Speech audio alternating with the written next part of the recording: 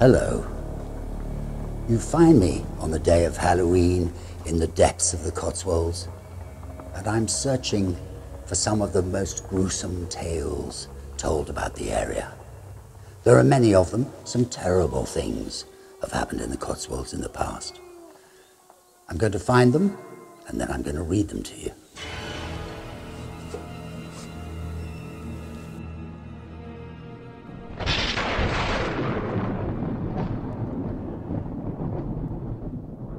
Civil war in the Cotswolds resulted in some brutal and terrible actions conspiracy, deception, disloyalty, and revenge.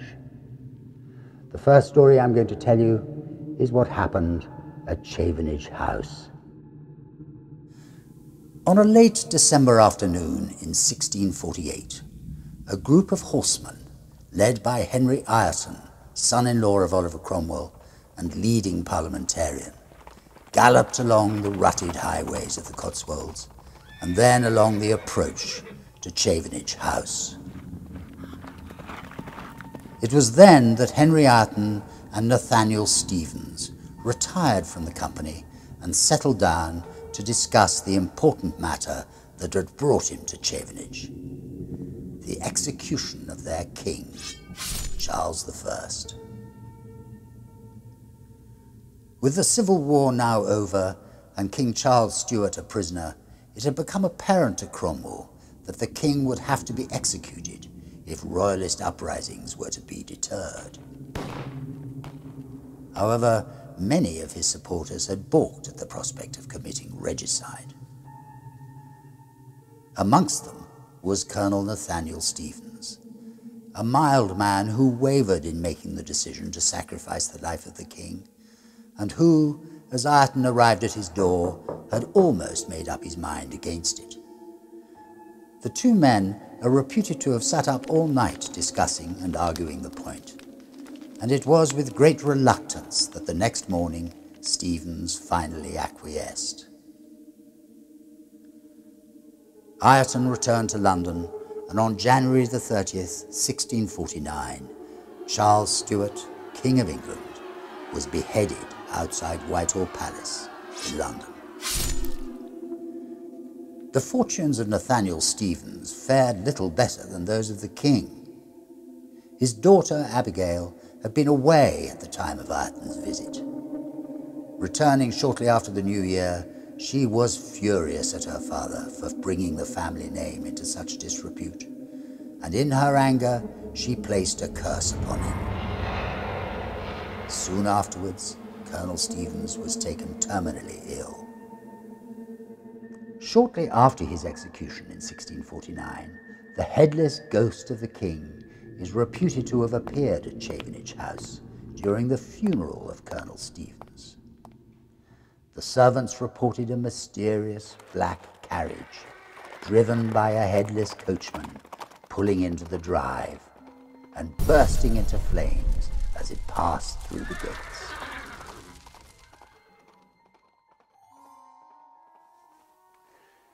In my continued efforts to find you gruesome tales from the Cotswolds, I was reminded of a story about a young Mercian king, told by our normal literary companion, Herbert Evans.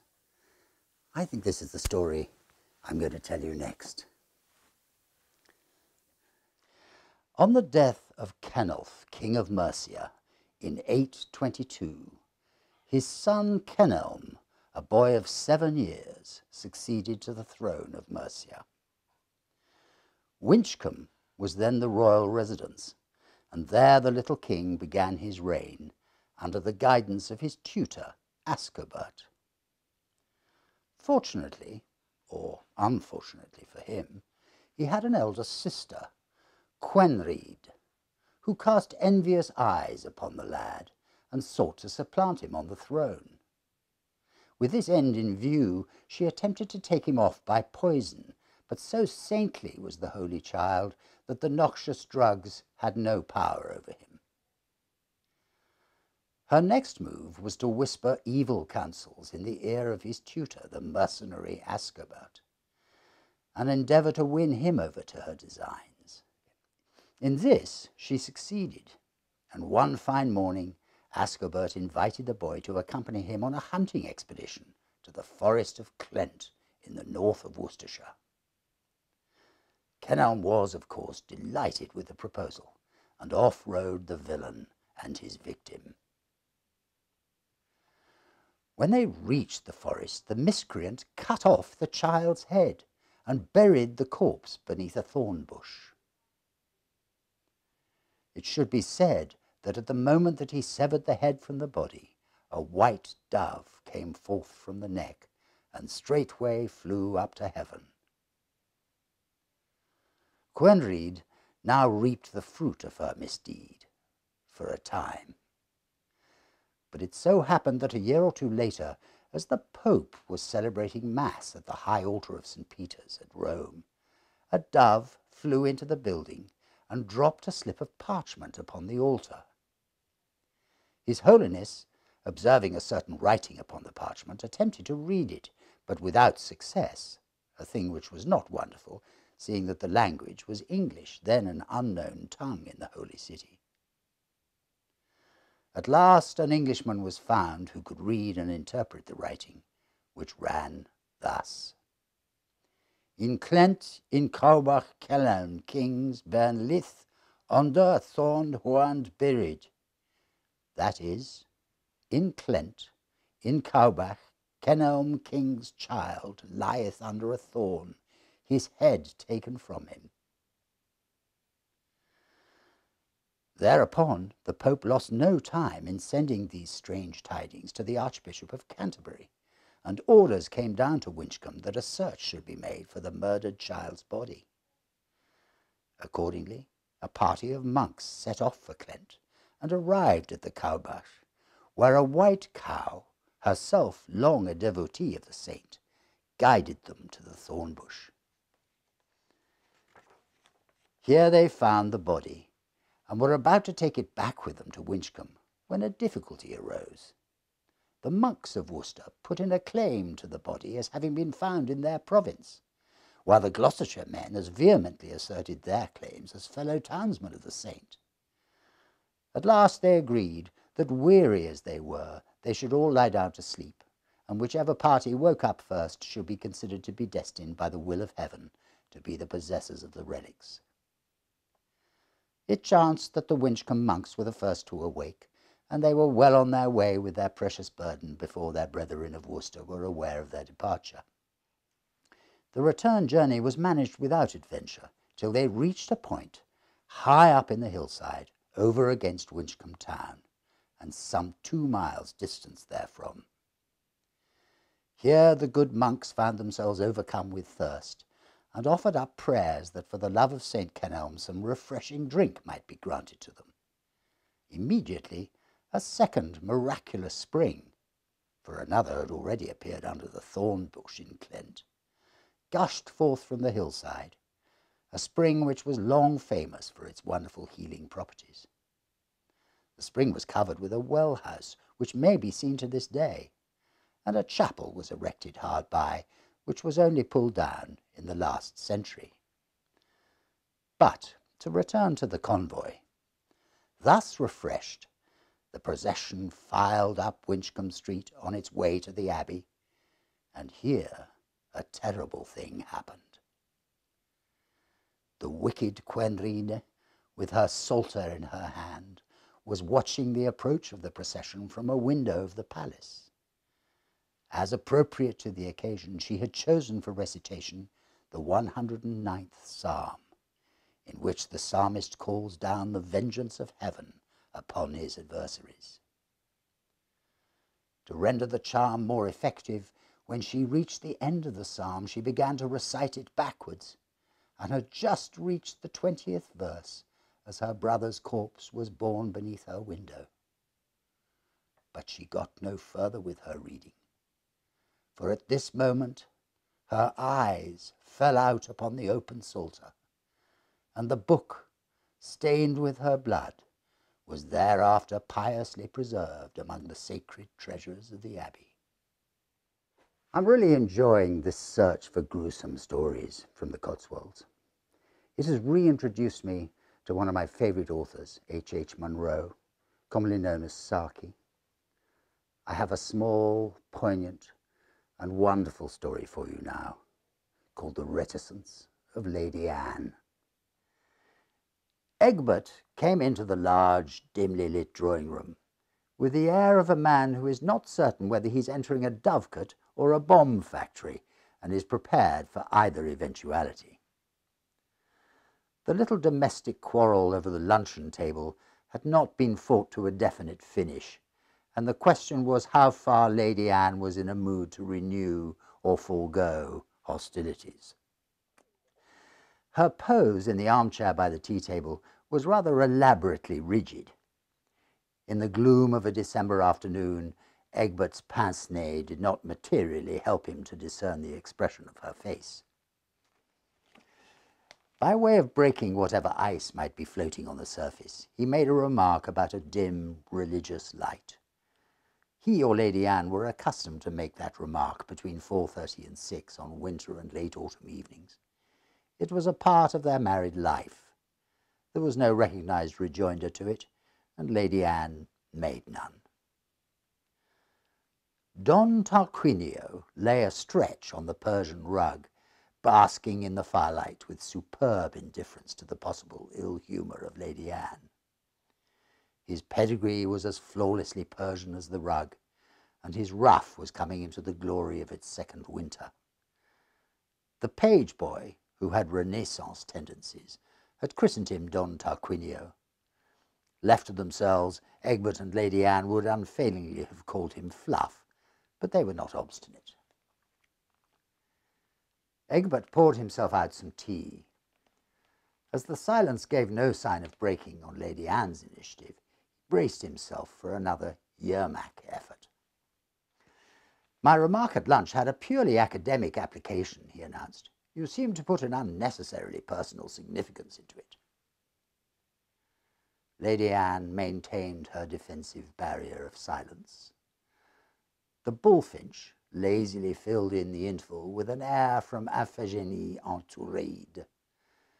Egbert recognized it immediately because it was the only air the bullfinch whistled, and he had come to them with the reputation for whistling it.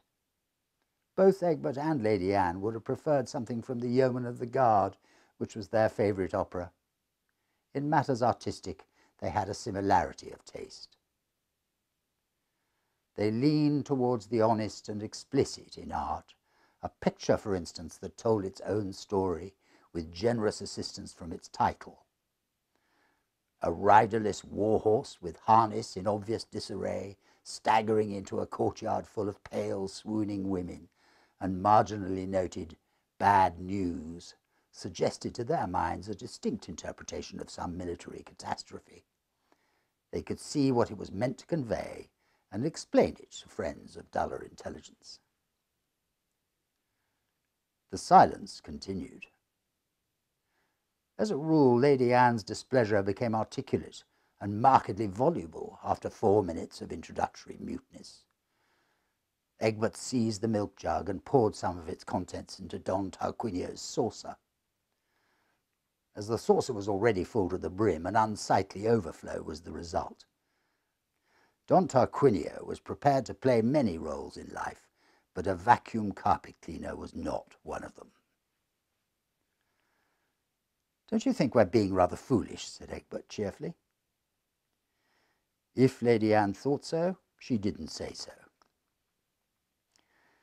I dare say the fault's been partly on my side, continued Egbert, with evaporating cheerfulness. After all, I'm only human, you know. You seem to forget I'm only human. He insisted on the point as if there had been unfounded suggestions that he was built on satyr lines, with goat continuations where the human left off. The bullfinch recommenced its air from Iphigenie en Tauride. Egbert began to feel depressed. Lady Anne was not drinking her tea. Perhaps she was feeling unwell, but when Lady Anne felt unwell, she was not wont to be reticent on the subject. No one knows what I suffer from indigestion, was one of her favourite statements. But the lack of knowledge can only have been caused by defective listening. The amount of information available on the subject would have supplied material for a monograph. Evidently, Lady Anne was not feeling unwell. Egbert began to think he was being unreasonably dealt with. Naturally, he began to make concessions.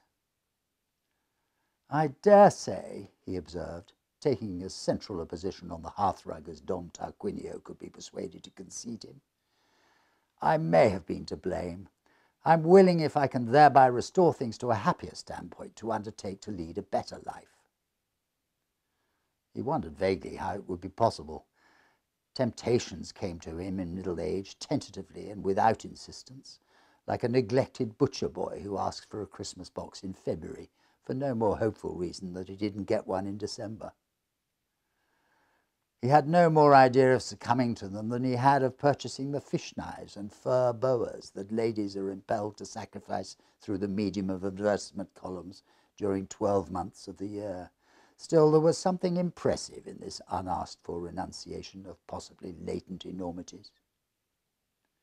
Lady Anne showed no sign of being impressed. Egbert looked at her nervously through his glasses. To get the worst of an argument with her was no new experience. To get the worst of a monologue was a humiliating novelty. I shall go and dress for dinner, he announced in a voice into which he intended some shade of sternness to creep. At the door, a final access of weakness impelled him to make a further appeal. Aren't we being very silly? A fool, was Don Tarquinio's mental comment as the door closed on Egbert's retreat.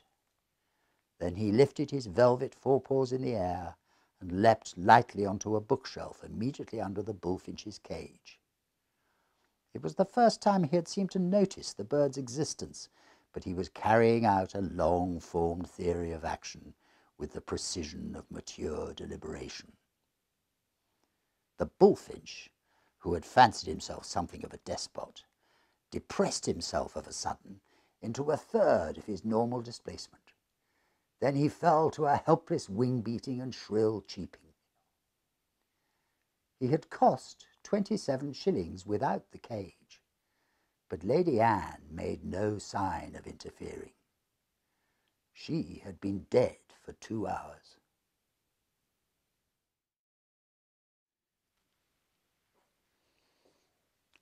I hope you've enjoyed our stories.